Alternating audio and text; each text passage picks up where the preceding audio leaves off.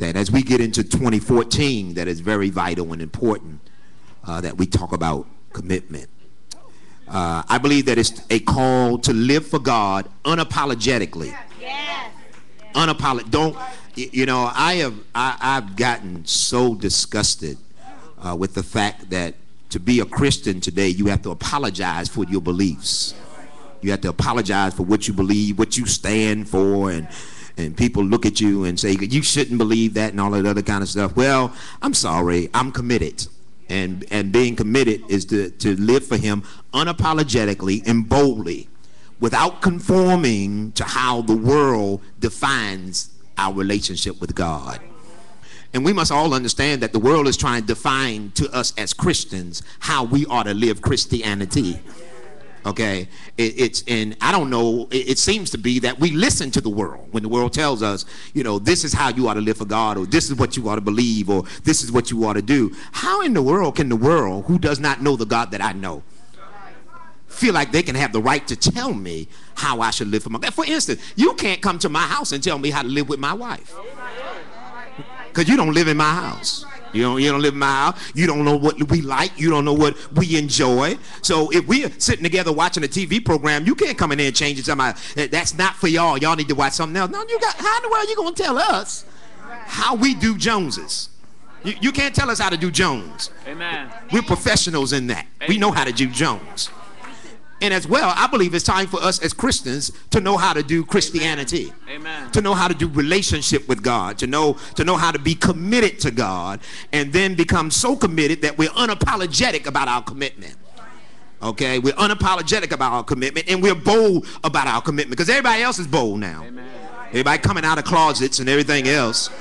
So everybody else won't be bold. I think it's time for the church to be bold. And I think that God is calling for some bold people that are not ashamed of the gospel of Jesus Christ. Come on now.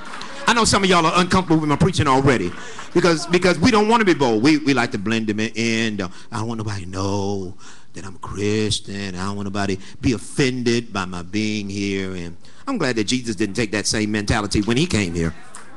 Can you imagine if Jesus took that mentality? I want nobody, no, don't nobody live. I don't nobody, no, no, no, no, no. I'm glad John the Baptist didn't take that mentality. I'm, I'm glad that Isaiah and Jeremiah and those, those that serve God, that they didn't take that mentality. They understood that the Bible tells us that we ought to cry loud and spare not. That, that we have to let people know. And then when Jesus, as he's departing, he said, tells, tells all of us, he says, hey, y'all are going to be my witnesses unto me. Now, unfortunately, in this little modern, watered down churches that we're in now, we, we, we have taken what he said and we have we have flipped it to be convenient to the way we want to do it. So what we say, so this is what we say. Well, you can be a silent witness. You know why we say you can be a silent witness? Because that way it, it gets us gets us off the hook from having to say something. Okay? He never called us to be a silent witness. He wanted us to witness with words. He wanted us to declare the gospel. He wanted us to, to give, to share the good news. Why y'all ain't saying nothing to me? Why y'all? He wanted us to share the good news. And so as I'm talking about this commitment on today, we're going to talk about how we're going to be committed to God. So Matthew chapter 4, Matthew chapter 4, verses 18 and 19. Uh, I'm, I'm reading on today just because I gave Annette the day off. I didn't fire her or nothing like that. I gave her the day off. Um, you, you got to tell people stuff like that because they'll be coming up to Annette at the service. You all right? Just want you to know I'm praying for you. I know church people, man. I just know. So I'm reading today. I gave her the day off. Matthew chapter 4, verses 18 and 19 says, One day as Jesus was walking along the shore of the Sea of Galilee, he saw two brothers, Simon, also called Peter, and Andrew, throwing a, throwing a net into the water, for they fish for a living. Jesus called out to them, Come follow me, and I will show you how to fish for people. So again, I'm talking about commitment. There are two things that we notice here in this verse, at verse 19. Number one, these fishermen gave complete, complete, complete commitment to Christ. Christ says to them, Come follow me. The next verse says that they left their nets. They left their nets and they began to follow Jesus Christ. And so they, they gave Christ a complete commitment without knowing all the details. Hmm?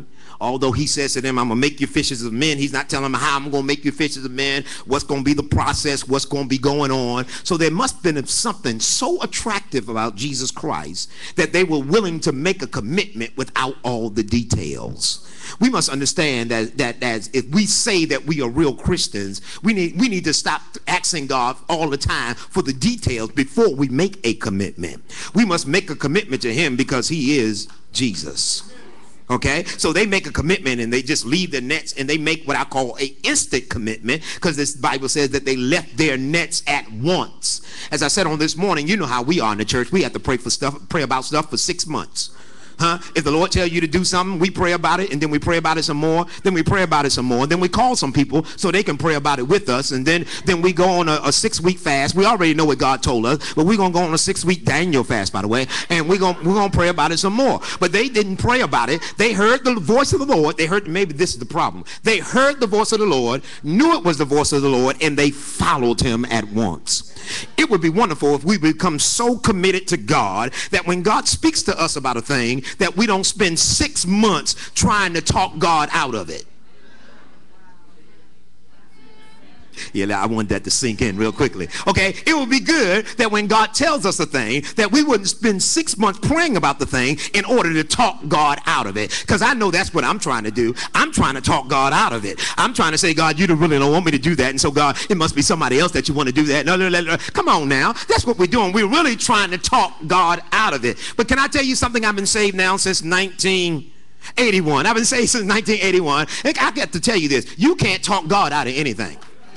If God wants you to preach, you're going to preach. If God wants you to sing, you're going to sing. If God wants you to work with children, you're going to work with children. If God wants you to dance, you're going to dance. If God wants you to be a deacon, you're going to be a deacon. If God wants you to be whatever God wants you to be, you're going to have to be it because you can't talk God out of it.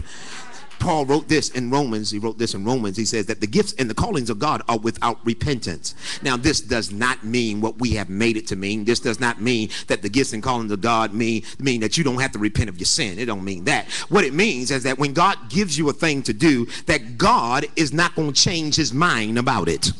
So you can't talk God out of it. I tried. I wouldn't be a pastor today if I could have talked God out of it, but it did not work. And so in our commitment to God, we need to understand that we need to have a instant commitment to God. Now, the definition of commitment that I am using in this series is the state of being bound, the state of being bound emotionally or intellectually to a course of action or to another person or persons. Again, the definition of commitment is the state of being bound emotionally or intellectually intellectually to a course of action or to another person or persons. I'm being bound emotionally and intellectually to a course of action or to another person or person. Commitment means that I am bound to God. I'm bound to God. I need you to understand something about this, and I think uh, there's some people that have this kind of attitude like I got. This is real to me. This is this is real to me. This this this is real to me. I'm not just intellectually bound by it, but I'm also emotionally bound by it. So let me warn you of something. Don't mess with my Jesus. I'm just letting you know right now. Don't be messing with my Jesus because I'm getting tired of people messing with my Jesus and, and, and talking about and, and, talking about Jesus and all the other kind of stuff. And he's not this and he's not that and all that kind of stuff. No, baby, this is real to me. This is Jesus is real. I know the Lord is real to me, and, and so so you can't make me doubt him. I, I know too much about him. I, maybe I'm talking to the wrong crowd in here. Maybe, maybe, is there anybody in here with this Jesus is real to you and you don't want people to be messing? Don't be messing with my Jesus now. You, you, you, you, can talk about my pastor. You can talk about my first lady, but don't talk about my Jesus. You, you, can, you can talk about my church. You can talk about all that other kinds of, but don't mess with my Jesus because I'm bound to my Jesus. You don't know what he did for me. You don't know what he brought me out of. You don't know what he delivered me from. You don't you weren't there when he saved me. You weren't there when he healed me, set me free and delivered me. You don't know how he kept my mind when I could have lost my mind. You just don't know. Please don't talk about my Jesus because he brought me out of too much for me to allow you to put your mouth on my Jesus. Is there anybody in here that's so committed to him you don't want to hear people talking about him? Gets on my nerves. Just gets on my nerves when people. I, I, watch a lot of stuff. You know, some of your favorite, you know, newscasts on CNN and all that other kind of stuff. And they got the nerve to talk about my Jesus. I know that's your favorite. I know that's your favorite and all that kind of stuff. You got the nerve, but, but don't be talking about my Jesus. I don't know. Don't be talking about my Jesus because He saved me, and I know He's worthy to be praised, and I know He's worthy of my devotion and my commitment. So I don't care if you got everything neg- negative to say. It's not going to change my mind. I promised Him that I would serve him till I die. My mind's just made up about that. And that's the type of commitment that it's going to take. And the thing about that's really going on in church today is that there are a lot of people who are professional churchgoers, but are not committed to Jesus. He never wanted us to be a professional churchgoer. He wanted us to be committed to serving him, loving him, being in the place that we have a relationship with him. It doesn't mean a hill of beans for you to come to church if you don't have a relationship with him. It does not have, mean a hill of beans for you to work in a ministry and you don't have relationship with him. In the end time, the Bible says that there were going to be people that would come to him and say, I prophesied in your name. I cast out devils in your name. And they, he's going to say to them, I don't even know you. Paul, Paul, Paul, the apostle Paul puts it this way. He says, he says, I bring myself under subjection, lest that while I have preached to others, I myself become a castaway. In other words, I can't preach to you to get you committed, and then I'm not committed myself. Is anybody up in the building besides me today? So we've got to be committed to him, tied to him, tied to him, where, where we stop allowing people to, to come in and damage our faith damage our faith in, in Jesus Christ. You, you've got too much of a track record concerning Jesus and what he has done for you to let some little joker come in your, in your surroundings and convince you that it doesn't take all that. You must have lost your cotton picking mind to have the nerve to tell me that it don't take all this. Baby, it takes this and some more. If you would have knew the condition that I was in before I met him, you would understand why I do what I do. Is there anybody that do what you do and you are really not concerned what people feel up? Oh, I'm committed let me let me let me show you some scriptures. I, I, I didn't mean to get so excited so so quickly, but but but but but I, I want to show you a scripture of the disciples and their commitment. They they just like you know I'm committed. Get your Bible, John six, John six sixty six, John six sixty six, and uh, we read through verse sixty nine. And I, I, I think I'm reading King James version. Uh, y'all forgive me. I, I, think that's how I copied it over. I, I didn't uh, whatever. Um, you can follow me in whatever version you have. But John six and sixty six. Check check this out. It says from that time, from that time, Jesus had, by the way, let me tell you what's going on. Jesus had just finished teaching. He was just finished teaching. He was telling some people that if you're gonna come to, if you're gonna get to the Father, you must come through me. If you're gonna get to the Father, you must come through me. In other words, you don't go through any other religion to get to God. Uh-huh. Uh-huh. Yeah, I knew I would lose my crowd right there. You don't get you don't go through any other religion. It is amazing that Christians don't believe this any longer. Christians used to believe that the only way to God was what was through Jesus Christ. For Jesus says, "I am the way, the truth, and the life. No man cometh to the Father but by me." Now, in Christianity, now we have allowed other paths uh, to, to, to lead to Jesus. I mean, to God. We've allowed, you know, it's all right if you if you another religion. It's all right if you serve something else and you do something else. That's to get you to God too. That ain't what the Bible teaches. The Bible teaches that the only way to the Father is through Jesus Christ. Now that may upset you, and I'm glad it's upsetting you because I plan on preaching till I got a few folk upset today. We must be committed to Jesus and to Jesus only in order to get to the Father. And so Jesus, Jesus, one day he was teaching that. My, my email address, address is Pastor Jones at nc.rr.com. So Jesus well, um, was teaching this, and, and, and, and people got upset at Jesus. So if they got upset at Jesus about the teaching, no doubt somebody gonna get upset at me. So I was prepared for that. And so it says from that time, from that time, many of his disciples, listen to this word, disciples, not just folk that were hanging around, but many of his disciples went back and walked no more with him. Then, then, verse 67, then said Jesus unto the twelve, Will ye also go away? Ah, but the 12, they were so bound, so tied to him that Simon Peter answered him, Lord, who are we going to go to? Thou hast the words of eternal life. And look, listen to verse 69. And we believe and are sure. We believe and are sure that thou art the Christ, the Son of the living God. I said on this morning, I said on this morning, I need to repeat it here this afternoon, is that in order to have a commitment, you must believe in a cause. If you don't believe in a cause, you will never have a commitment. And so I, I use the illustration of the civil rights movement in, that began in the 50s that these people believed in the cause. They believed in equality for all races. And because they believed in that cause, they were willing to be bit by dogs, to be bitten. They were willing to have water hoses uh, uh, uh, sprayed on them and then come back the next week and stand up again and say, We demand equality. Why? Because they believed in the cause and they were committed to the cause and they were not going to allow anybody to sway them from their commitment. Is anybody here hearing me? When you believe, see, when you believe the word of God, when you believe what he speaks in his word, when you believe that he is the Christ, the Son of the living God, you become committed to that. And when you become committed to that, you don't care what anybody else got to say.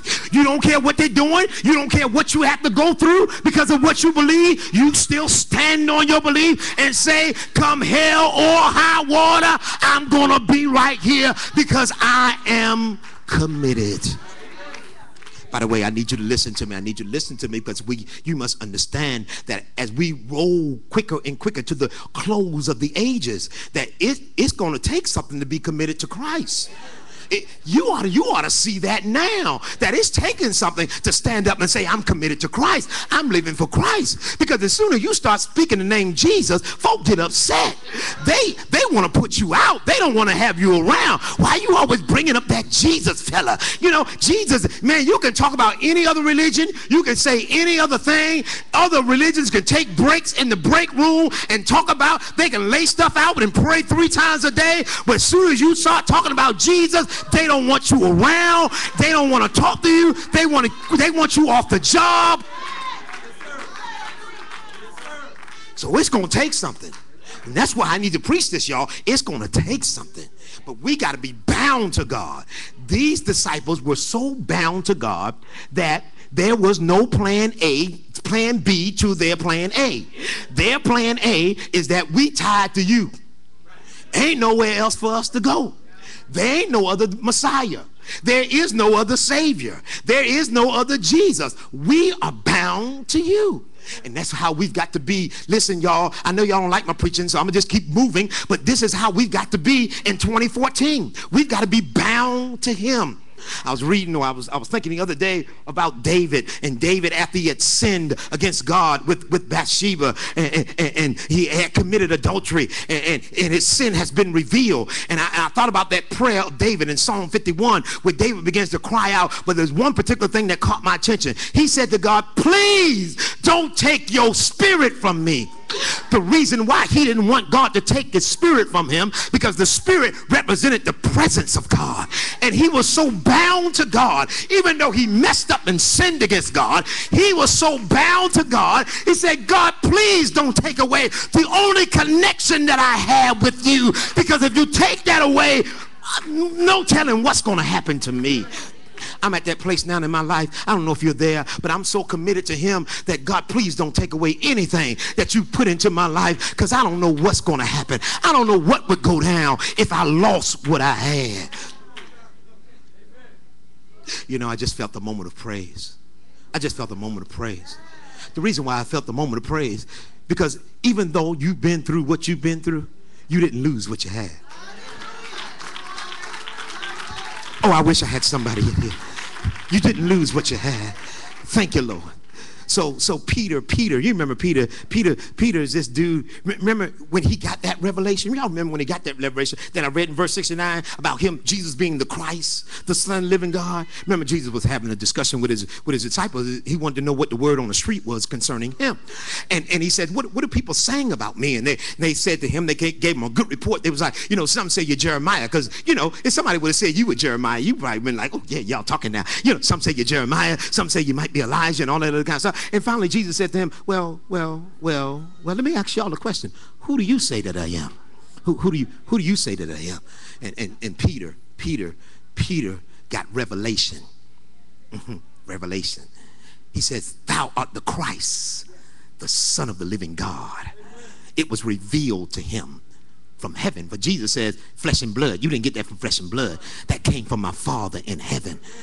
And you see, the reason why I'm committed, I'm not committed because somebody told me something. I, am not I'm not committed based upon what, what happened to you. I'm committed based upon what I got.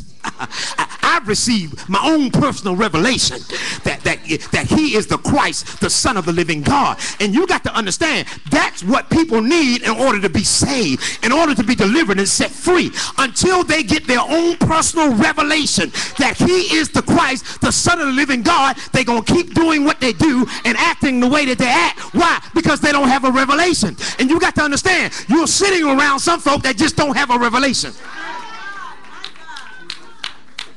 And people that don't have a revelation just won't operate the way that you operate based on a revelation.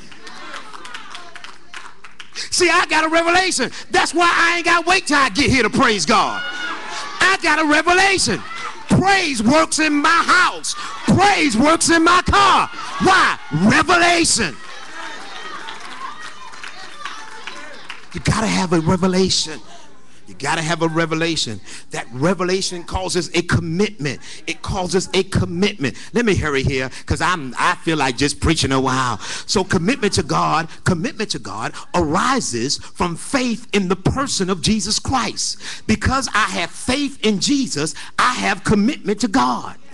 I believe that Jesus that went to Calvary to die to give his life, to shed his blood, who had nails put into his hands. Can I preach the gospel? Nails put into his feet, who was pierced in his side, who took the crown of thorns upon his head. I believe that that Jesus did that for me. I believe he did that for me. I believe what Isaiah picked up prophetically years before he got here that he was wounded for my transgressions, that he was bruised for my iniquities, that the chastisement of my peace was upon him, and with his stripes I am healed. I believe the story. I believe it because it has not become, it is not just words on the pages, it is a revelation in my heart. And because it's revelation in my heart, I am committed to serve my God based upon what he has done. Is anybody here hearing me? I'm committed to serve my God based upon this revelation that I have of him. I'm bound to serve him. Can I show you some scriptures? Can I show y'all some more scriptures? Come on, y'all. We got a little time here. Got a little time. Let's go into the Old Testament. Let's go into the Old Testament. In the Old Testament, there's a rendition of, of, of being bound to God that I like. It's in Psalm 73. Psalm 73, beginning at verse number 22. This is good preaching, if I don't mind saying so myself. Thank you, Roosevelt. By the way, Roosevelt has not been fired either. Okay? Roosevelt's got some, some issues going on. I said to Roosevelt, I know you support me. Sit there and talk to me. You ain't got to walk all the way up here in your crutches. No, seriously. No, seriously. You ain't got to walk all the way up here in your crutches. I know you support me. When you get, when you get healed, rush the pulpit. Amen. That's just good wisdom. That's I try to be the best pastor I can be. Psalm 73, Psalm 73, verse 22. Psalm 73, verse 22. Everybody that's there say amen. Okay, check this out.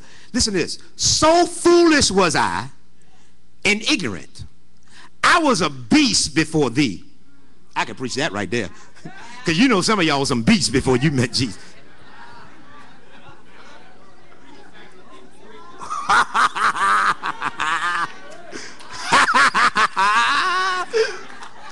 Well, you better be glad some of them folks sitting around you are saved because they was a beast. Woo. David said, David said, so foolish was I and ignorant, I was a beast before thee. Nevertheless, I am continually with thee. Thou hast holden me by my right hand. Thou shalt guide me with thy counsel, and afterward receive me to glory. Check this out. Look at how bound he is to him. Who have I in heaven but you? And there is none upon the earth that I desire before beside thee. My flesh and my heart faileth. But God is the strength of my heart and my portion forever. For lo, for lo, they that are far from thee perish. Thou hast destroyed all them that go a whoring from thee. A whoring. I, y'all didn't know that was in the Bible before y'all said it. But it is good for me to draw near to God. I have put my trust in the Lord God that I may declare all thy works. Again, this is all about being bound to God, committed to God. We've got to get committed to God because God is tired of us a whoring.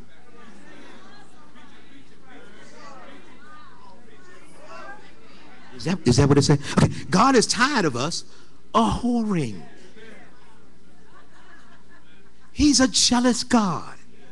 He says, I want your commitment. So why are you a whoring? Eh, are y'all uncomfortable? I'm just I'm just reading the Bible. You if you're gonna send me an email, I'm gonna just send you the scripture. That's all I'm gonna do. I'm gonna just send you the same scripture I'm reading. Because that's what the scripture said. So I ain't making up nothing. This ain't Baltimore coming out of me. This King James Version Bible. Either you are committed or you are a whoring. I told, I, as I said at the 8 o'clock service, this is the introduction to the series. The introduction is to allow you to figure out whether or not you want to come back for the rest of the month. Okay? God used this dude in the Old Testament named Hosea. Any y'all heard of Hosea? H- Hosea, when you get some time to go read the book, it is an amazing book, Hosea. God told Hosea to go get him a wife. a wife, a wife. Uh, but this this this wife had an occupation in the red light district.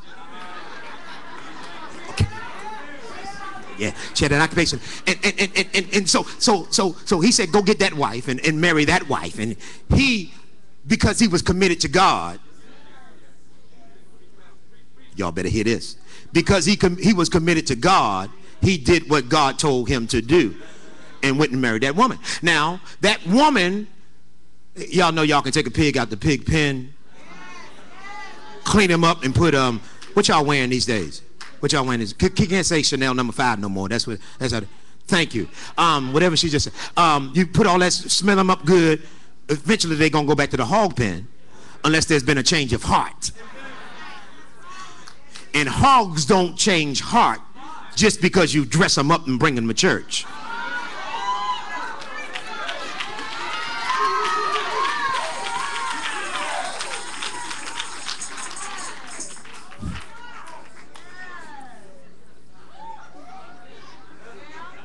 You really don't want me to say what I feel like saying next. no, you really don't. Let me just keep going and where I'm going. she married him and they got married, and then she went back out there and started doing what she was doing. She went out there a whoring. God told her, here's some good news. This might be the best news you hear all day. God told Hosea Go get your wife. Hosea said, What?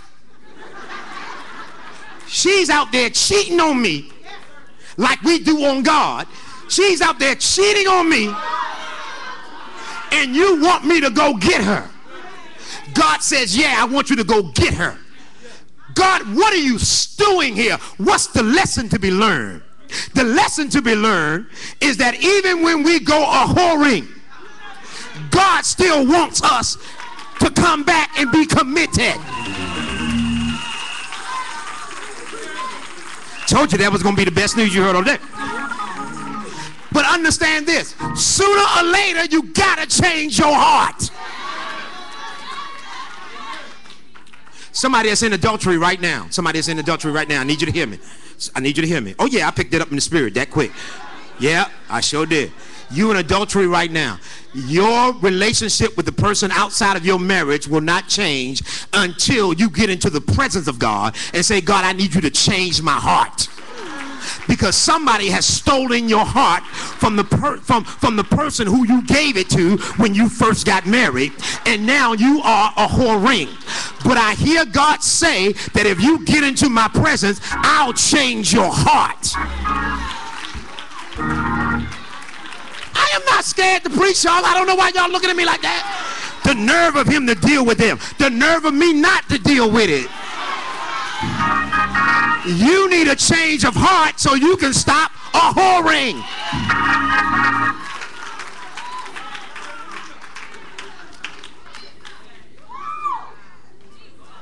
I think I'll preach a little bit longer now.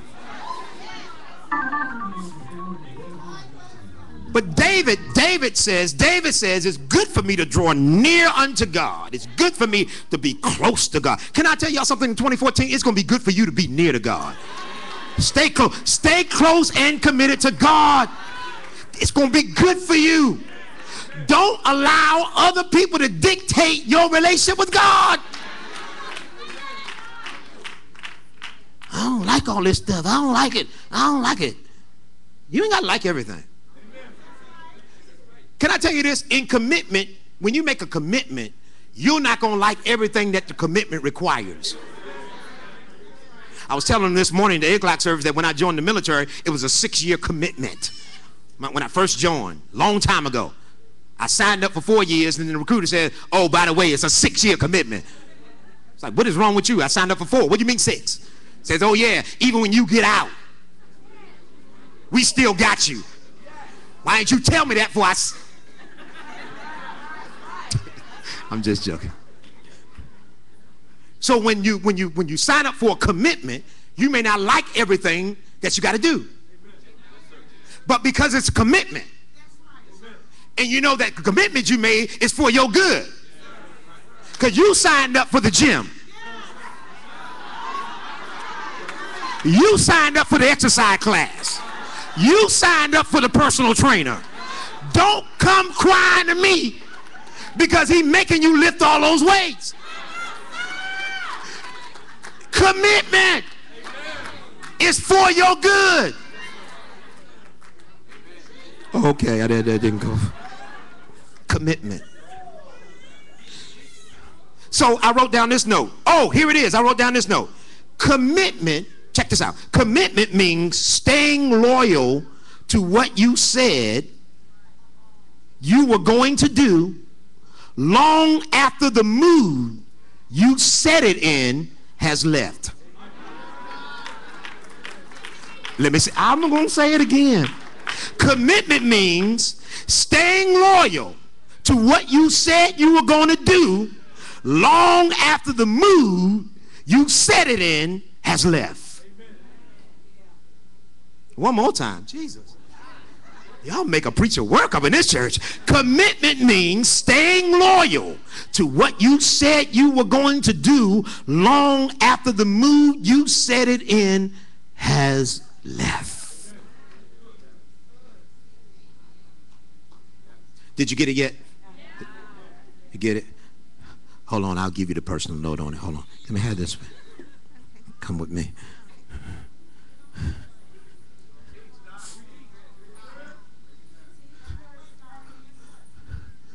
Do you take this woman to love and to hold from this day forward? For better or for worse for richer or for poor i am just so in love. I do. I do. The mood says i do. You may now, excuse me one second, kiss the bride.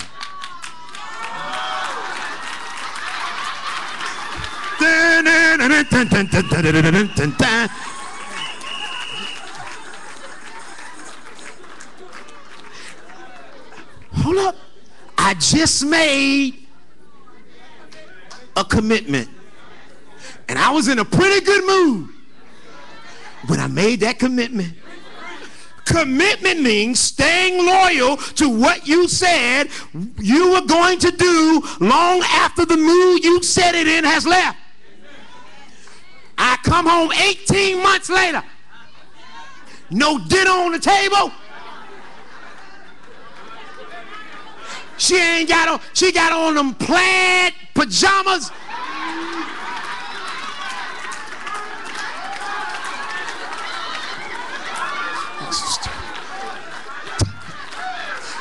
Head wrapped up in one of them dang handkerchiefs.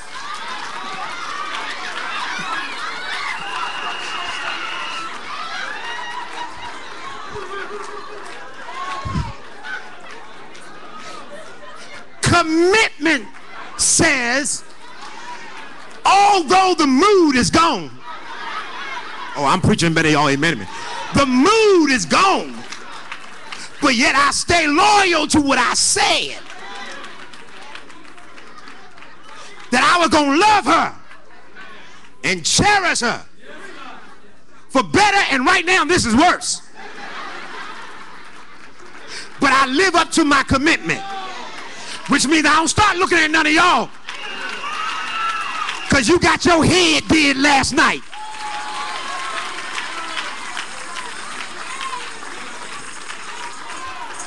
My commitment is to that gang handkerchief over here.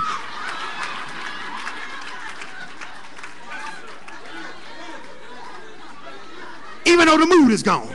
Come on now, talk to me. So, when you get so enthusiastic, great church service, the Spirit of the Lord is just moving. Anybody want Jesus? Absolutely. Woo! This is come kind of service. I want, I want Jesus. I want Jesus. I want Jesus because I'm feeling good about the church service. The preacher was pretty good. Told a couple of jokes, even made you feel good. But that same commitment that you make up here when you're feeling good is the same commitment you got to keep when all hell break out. When you go back to the boys on your corner and you tell them you're saved and they look at you and say, come on, get a drink with us, you say to them, no, I made a commitment. Oh, well, I can't get nobody say anything. Let, let, let me show it to you then. Let me let me show it to you. I'm almost done. This gonna be this series gonna be crazy. I'm trying to tell you. Um, let, let me show it to you. Let me show it to you. That ain't what I want to show you. Um, um, hold on. Is that the one I want to show you? Because I got so many scriptures, y'all. This is ridiculous how many scriptures I got. It is crazy. Um, um, okay, let's do this one. Luke 14. Go to Luke 14, 25. Is everybody okay? Everybody okay? Y'all, y'all, y'all keep praying for me. Keep praying for me. Um, Somebody prophesied to me on Facebook, told me I need to get back to being a shepherd and being a pastor.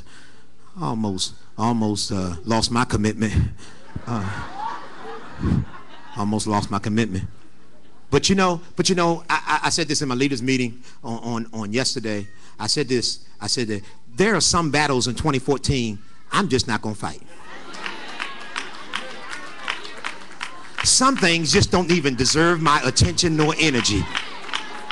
And I gave my energy to some stuff in 2013 that frustrated me. And I'm just not going to have the same level of frustration this year that I had last year. So please forgive me if I don't give all my energy to your craziness. Okay, let's go on. Luke 14, 25. Luke 14, 25. This is New Living Translation. For some reason, I went back and forth. I don't know why. Um, Luke 14, 25. A large crowd, a large crowd. Is am I reading the right thing? Okay, a large crowd was following Jesus. He turned around, got sick of all these folk following him, and said to them, If you want to be my disciple, listen to this. This is stuff we don't teach about commitment. Listen to this.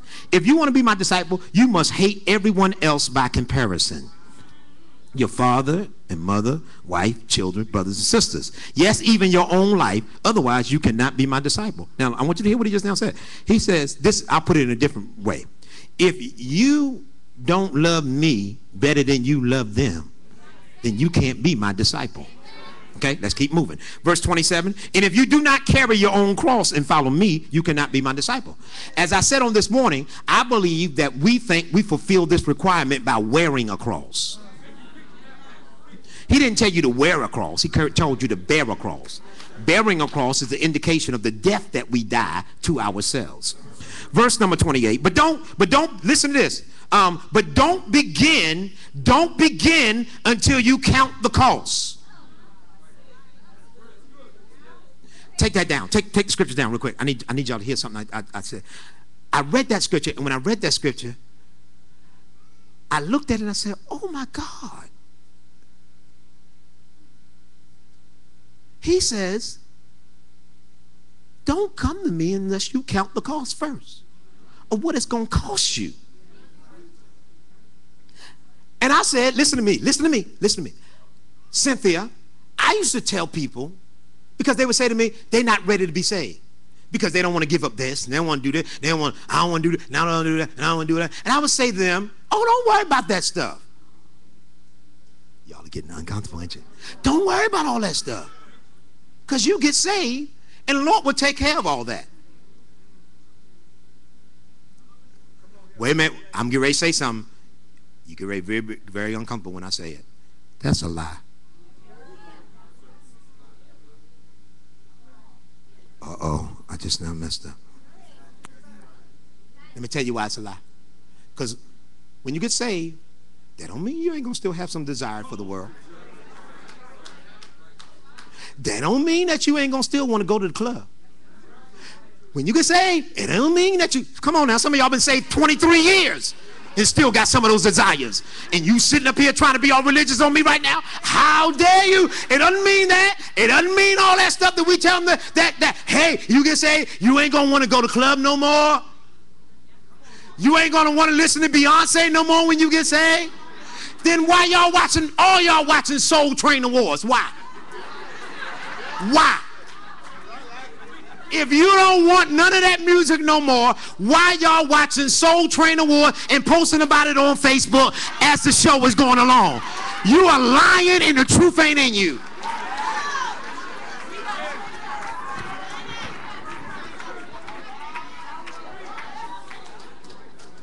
So Jesus says, before you make this decision, you better make sure this is what you want to do. Check this out. Let's get back to the scripture. I ain't scared to preach. I'm going to show y'all some stuff. But you don't begin until you count the cost. Verse 28, that's what I'm reading. For who would begin construction of a building without first calculating the cost to see if there's enough money to finish it? Otherwise, you might complete only the foundation before running out of money. And then everyone would laugh at you. They would say that that's the that's the person who started the building and couldn't afford to finish it. Speak, Lord. Or, who, or what king would go to war against another king without first sitting down with his counselors to discuss whether his army of 10,000 can defeat the 20,000 soldiers marches against him? And if he can't, he will send a delegation to discuss the terms of, of peace while the enemy is still far away. Now, check this out. Verse 33. So you cannot become my disciple without giving up everything you own. And you need to count the cost of that before you make a decision. I know y'all don't like my preaching. I know, I know you don't like, but you got to count the cost of that. You got to count the cost of whether you are more into the material now or the eternal future. That's what the real decision is about. Am I more about today or am I about eternity? Because everybody, in a sense, will experience eternal life. But the question is, where will you spend it? A com- smoking or non-smoking, thank you. Where will you spend it? That, that comes from the choir. Smoking or non-smoking. I take no credit for that where will you spend eternity? Because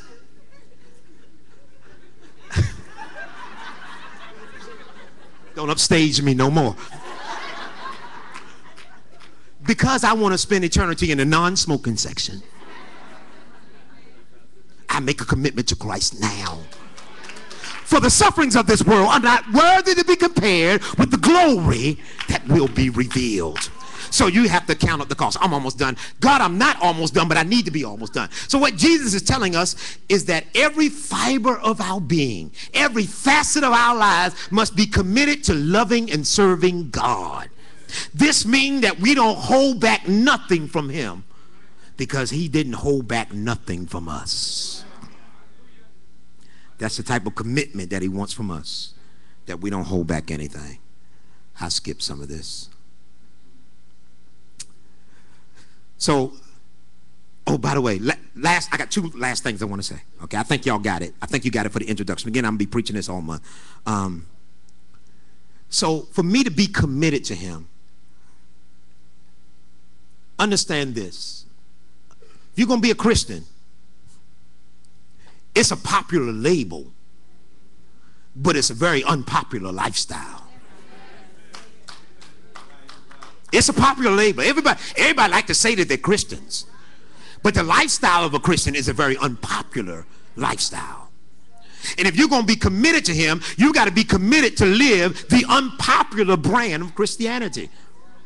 And God is looking for some people that will live the unpopular brand of Christianity rather than the popular brand of Christianity. Oh, I'm saved. Oh, I go to church. Oh, I do this and I do that. As a matter of fact, I know the pastor.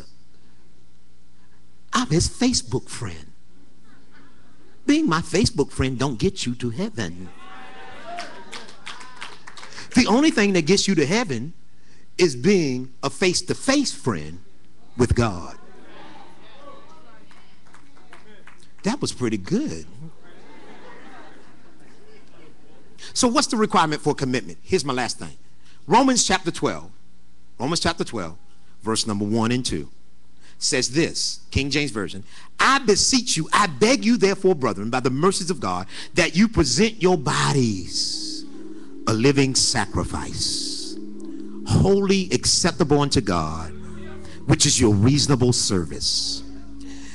And be not conformed to this world, but be ye transformed by the renewing of your mind that you may prove what is the good and acceptable and perfect will of God. Again, this has only been my introduction. We're going to get into the depth of this. We're going to talk about this thing of commitment. We're going to talk about what's the how it's characterized. How do we do it? How do we do it? Because I found this out about me, not you, about me.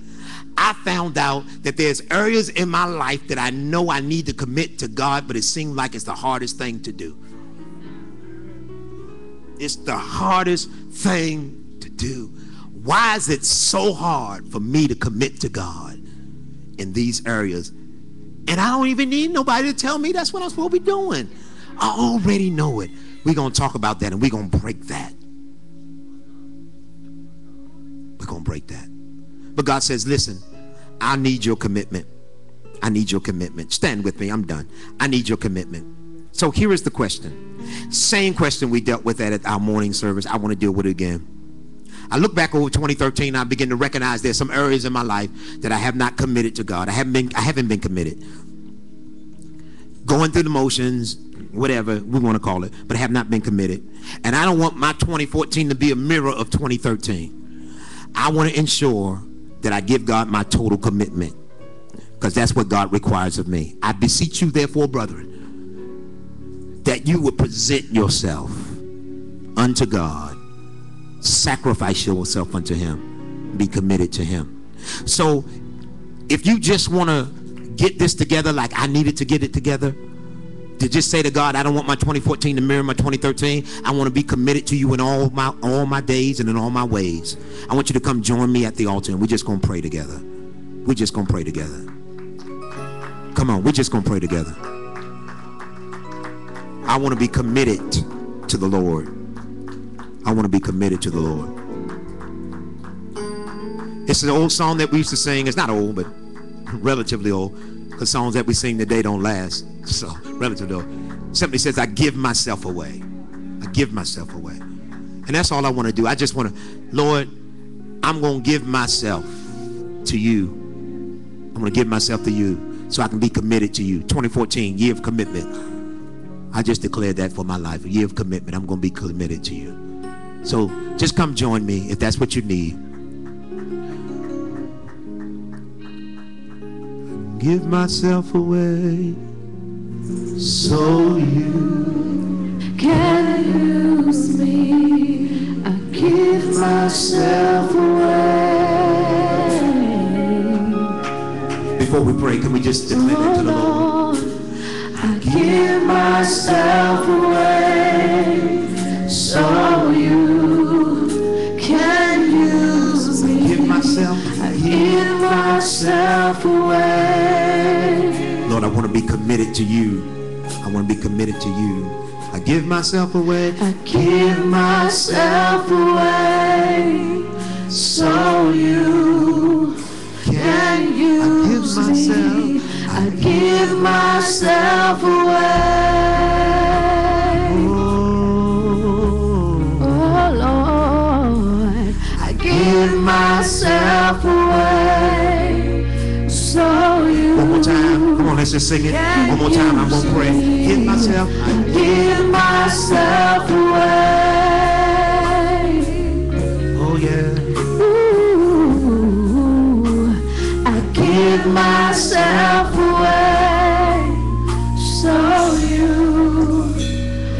Father, in the name of Jesus, Lord, we come to you because we have a simple prayer.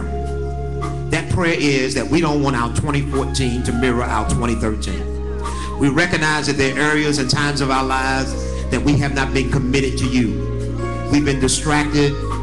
We've allowed other things to come before you. We put other things in, in, in the priority place.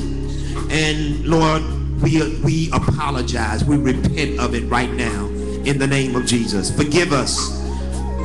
You told us that you were to be first. And so, God, we are ready to commit our lives to you.